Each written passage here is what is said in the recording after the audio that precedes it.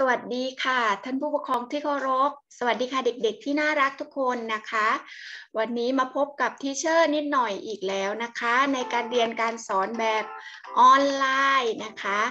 วันนี้วันพฤหัสบดีแล้วนะคะ เรามาดูสิคะว่าเราเรียนอะไรคะอ่าสัปดาห์นี้นะคะเราเรียนหน่วย ชุมชนของเรานะคะ หน่วยชุมชนของเรา หน่วยชุมชนของเรานะคะ มีสาระการเรียนรู้อะไรบ้างนะคะ เดี๋ยวเรามาทบทวนและเรียนรู้เพิ่มเติมกันเลยค่ะ สาระที่ควรเรียนรู้นะคะ มีหนึ่งสถานที่สำคัญในชุมชนนะคะสองบุคคลสำคัญในชุมชนสามอาชีพในชุมชน 4. การดูแลรักษาชุมชน 5. ปัญหาและความปลอดภัยในชุมชนค่ะ เดี๋ยววันนี้นะคะเรามาทบทวนเรื่องที่เรียนเมื่อวานและเรื่องใหม่กันนะคะ เรื่องที่เราจะเรียนในวันนี้นะคะ อ่า เมื่อวานนะคะเราได้เรียนรู้เกี่ยวกับอาชีพต่างๆ ในชุมชนใช่ไหมคะ อาชีพต่างๆ ในชุมชนนะคะ มีเยอะแยะมากมาย ไม่ว่าจะเป็นนางพยาบาลตำรวจ คุณหมอ คุณครูทหารข้าราชการต่างๆ พวกนี้นะคะเป็นอาชีพที่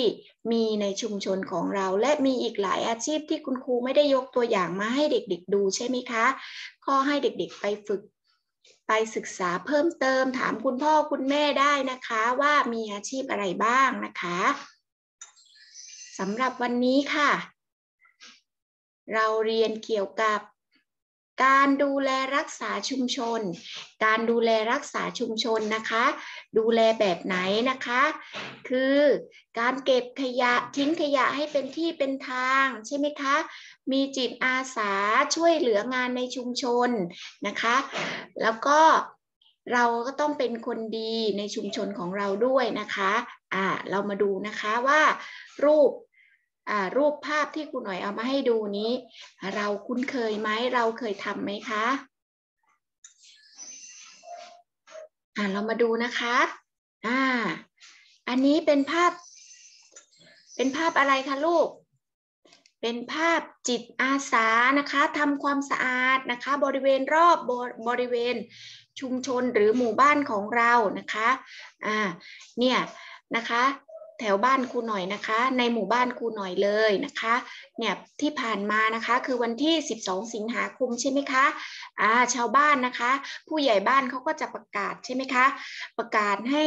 แต่ละหมู่บ้านแต่ละบ้านเนี่ยค่ะออกมาช่วยกันทำความสะอาดนะคะอ่าเนื่องในวันสำคัญต่างๆนะคะ เมื่อกี้วันแม่ก็ออกมาทำความสะอาดรอบหมู่บ้านนะคะ ช่วยกันตัดกิ่งไม้ขยงขยะข้างทาง ไม่ให้มันรกแล้วก็ไม่ให้มันกีดทางสัญจรนะคะ อ่าเด็กๆก็ทำได้เหมือนกันนะคะ เด็กๆก็ช่วยเห็นไหมคะ เด็กๆก็ช่วยกันเก็บนะคะ เป็นจิตอาสานะคะ มีน้ำใจ เห็นขยะเกินกลาดนะคะ เราไม่ต้องบอกว่านี่ของใครนะคะ เราปลูกสำนึกไว้เลยว่าเออเห็นขยะเราก็เก็บนะคะ อันนี้เด็กๆก็ทำได้นะคะ ช่วยเหลือคุณพ่อคุณแม่คุณลุงคุณน้านะคะ คนละไม้คนละมือนะคะ ต่อไปค่ะ อ่าทำความสะอาดบริเวณวัด หรือทาสีกำแพงวัดอ่าอันนี้นะคะก็เป็นจิตอาสาแบบหนึ่งนะคะ ที่เราสามารถช่วยกันทำได้นะคะ เด็กๆไม่ต้องไปทำให้ผู้ใหญ่ให้พ่อแม่ อันนี้คือคนในชุมชนเขาจะช่วยกันนะคะ เราก็ทำในสิ่งที่เราเป็นเด็กเราทำได้แค่ไหนก็แค่นั้นนะคะอ่าและอันนี้นะคะ ในชุมชนของเราก็มีสถานที่กักตัวนะคะ เป็นที่พักคอยนะคะสำหรับพวกที่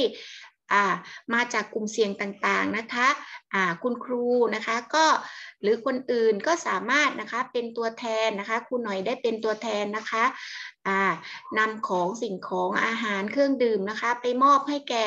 เจ้าหน้าที่นะคะ พนักงานนะคะ แล้วก็บุคลากรต่างๆนะคะ แล้วก็ผู้ที่กักตัวด้วยนะคะด้วยไวรัสโคโรนาของเรานี่นะคะก็คือโควิด -19 นั่นเองนะคะ เราก็สามารถมีจิตอาสาไปช่วยเหลือแบ่งปันแบบนี้ได้นะคะะสำหรับวันนี้นะคะ คุณครูก็มีเนื้อหาที่จะสอนเด็กๆเพียงเท่านี้นะคะ ให้เด็กๆรู้ว่าการอยู่ในชุมชนของเรานะคะ เราต้องช่วยเหลือนะคะ มีน้ำใจนะคะ เราไม่ได้อยู่คนเดียว ไม่ได้อยู่บ้านหลังเดียวในชุมชนในหมู่บ้านใช่ไหมคะ เราอยู่หลายครอบครัวเราต้องรู้จักช่วยเหลือแบ่งปันกัน มีน้ำใจให้กันนะคะอ่าเรามาดูคุณค่าพระวรสารค่ะ คุณค่าพระวรสารนะคะก็ที่คุณหน่อยบอกเราต้องมีความรักความกตัญญูรู้คุณใช่ไหมคะ รู้จักมีน้ำใจแบ่งปันรักซึ่งกันและกันนะคะอ่าแล้วก็เห็นขยงขยะในชุมชนของเราเราก็ต้องช่วยกันเก็บทำความสะอาดใช่ไหมคะอ่าสำหรับวันนี้นะคะครูหน่อยก็จะสอนเนื้อหาเพียงเท่านี้นะคะ แล้วเรามาเรียนรู้แบบฝึกหัดพร้อมๆกันค่ะ แบบฝึกหัดวันนี้นะคะ เป็นแบบฝึกหัดทักษะภาษาไทยนะคะอ่าเรามาดูพร้อมกันเลยค่ะลูกอ่าเด็กๆเปิดหนังสือนะคะอ่าเปิดมาหน้านี้นะคะ คุณครูจะฝึกอ่านนะคะ แล้วให้เด็กๆนะคะ ไปฝึกอ่านและเขียนให้สวยงามนะคะอ่าคำแรกนะคะลูกคออุนอคุณ หอมออหมอ คุณหมอนะคะ คุณหมอเห็นไหมคะ อาชีพในชุมชนของเราก็ขึ้นมาเลยเห็นไหมคะ คุณหมอก็เป็นอาชีพในชุมชนเหมือนกัน ต่อไป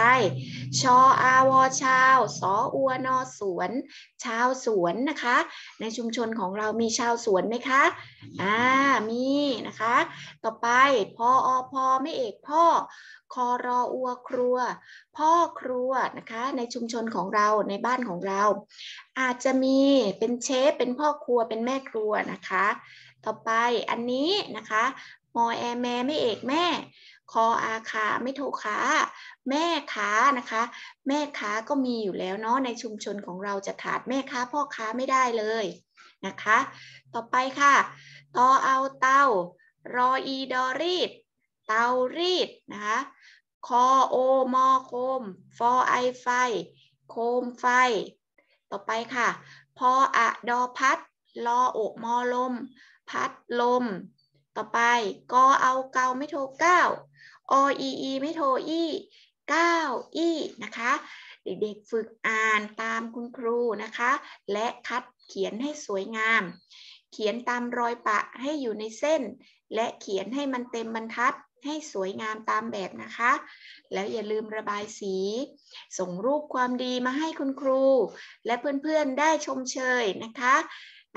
คุณครูขอขอบใจนะคะ เด็กๆทุกคนที่ตั้งใจเรียน และขอบคุณผู้ปกครองทุกคนนะคะ ที่ช่วยนะคะสนับสนุนนะคะ ในช่วงสถานการณ์แบบนี้นะคะ ช่วยกันสอนเด็กๆนะคะ อ่า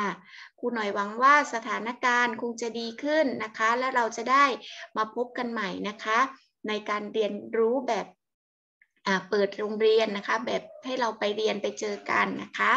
สำหรับคลิปนี้นะคะครูหน่อยต้องขอตัวลาไปก่อน แล้วพบกันใหม่ในวันพรุ่งนี้นะคะอ่าแล้วพบกันใหม่นะคะ บ๊ายบายค่ะ